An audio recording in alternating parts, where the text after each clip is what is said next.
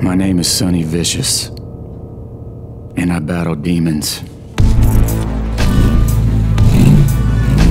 There was a time when I had everything, but before is gone, now there's just this a rat hole of a city full to the brim with sewage and death. They say this city never sleeps, but I think she at least closes her eyes at night, because that's when the monsters come out.